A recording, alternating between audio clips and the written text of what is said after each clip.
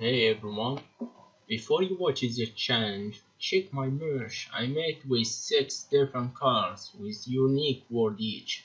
The link down below in description. This merch available in USA and Europe. Now enjoy watching my video.